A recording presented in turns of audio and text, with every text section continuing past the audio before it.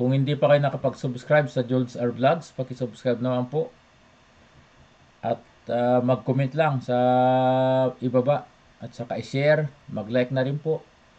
Para sa ganun ay ah, dumami naman ang subscribers natin.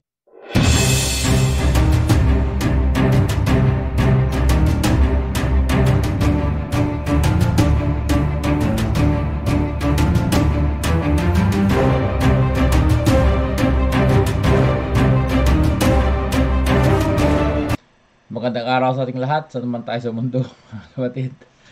Ang pag-uusapan natin ngayon ay tungkol sa nangyari noong 2016 elections.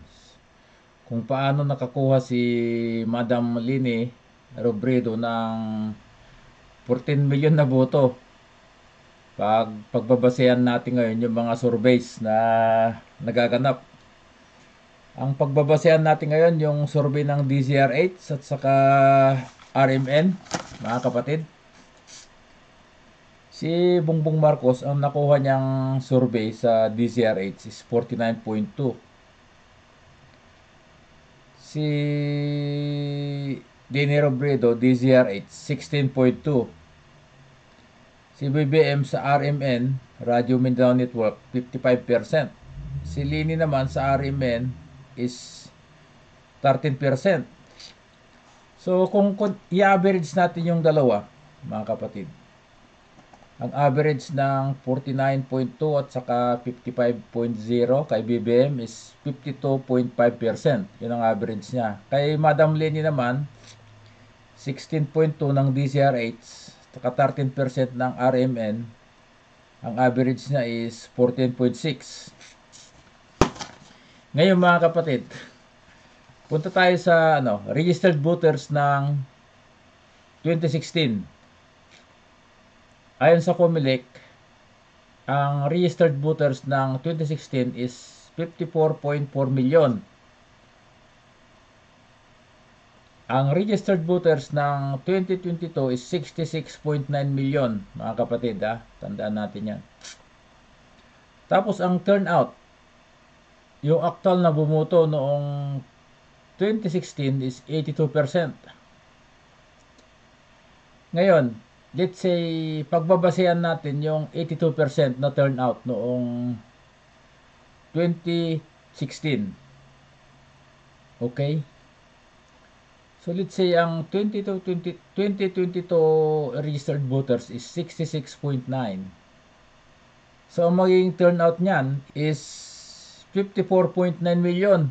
Yan ang turnout niya. 54.9 million. Okay. Punta na tayo sa butos ni ano, ni Lini Robredo. Saan na yung yung ano calculator ko? Let's say 54.9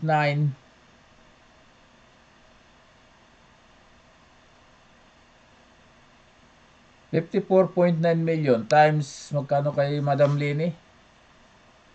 14.6%.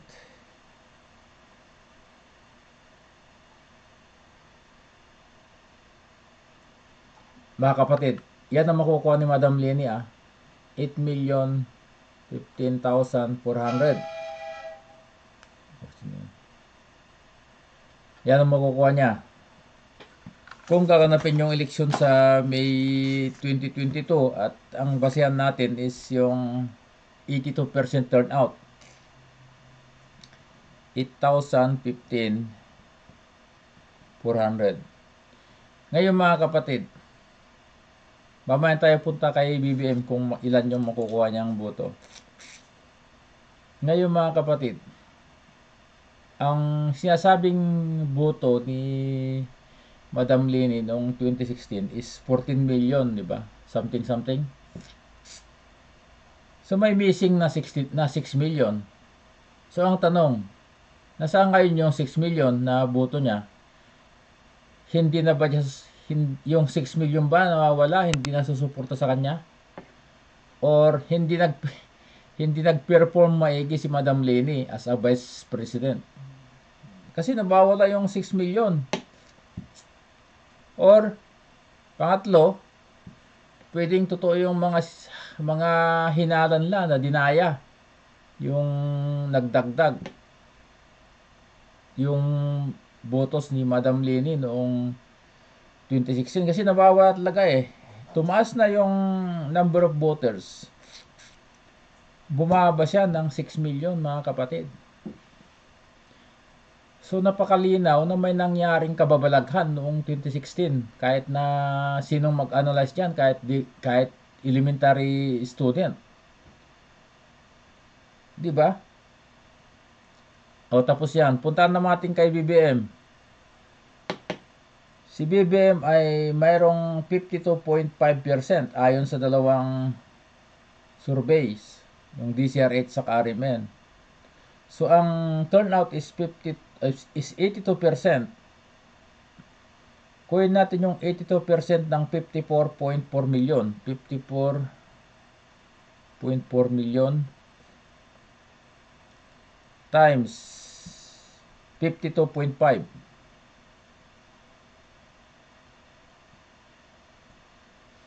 Mga kapatid, ang makukuhang boto ni BBM, more or less, yan o, 28 million 560,000. So napakalaki ang agwat. Kung pagbabasehan natin yung dalawang survey ah, si Madam Leni ang kawawa ngayon. Hahanapin ng tao sa kanya yung 6 million na nawawala sa butos niya noong 2016.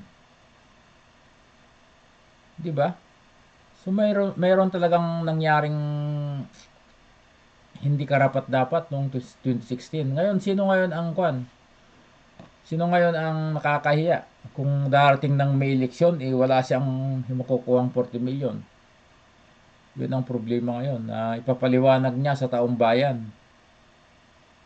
So, siya ba may mukha pang ipapaiharap sa taong bayan kung ang totoong boto niya is walang 14 million ngayon darating na Mayo? Sa palagay ko, wala na. Siran-sira na si Madam Leni kung sakali man nangyari yung makakuha lang siya ng, ng 8 million na boto. Dapat kung ako sa kanya, hindi na ako kumandidatong pagka-presidente. Kumandidato na lang ako para congressman o kaya governor ng Camarines Sur. Siguro baka tangkiligin pa siya ng kababayan niya sa Kamsor. Totoo naman kasi nag number 1 siya sa Region 5 So talagang mananalo doon kung sakali. Kaso, pagka presidente ang tinakbo niya, so lalabas na wala siyang makukuha ang 14 billion ngayong darating na Mayo. So yan muna mga kapatid. Kung hindi pa kayo nakapag-subscribe sa Jules R. Vlogs, paki-subscribe naman po. At uh, mag-comment lang sa ibaba. At saka i-share, mag-like na rin po para sa ganun ay uh, dumami naman ang subscribers natin. Salamat po. Stay safe always. At saka keep healthy. And God bless us. Salamat.